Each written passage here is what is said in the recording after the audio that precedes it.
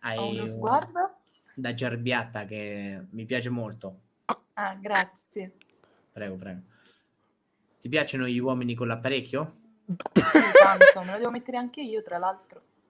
Perché? Eh, perché ho bisogno di mettere l'apparecchio, l'ha detto il dentista. Mi apri la bocca, mi fai vedere. No!